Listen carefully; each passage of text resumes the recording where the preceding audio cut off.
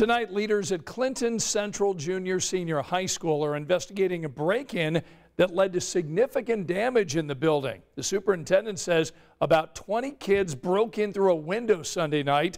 They're saying the kids apparently left oil on the floor, spray paint on the walls, and put obscene signs outside the building.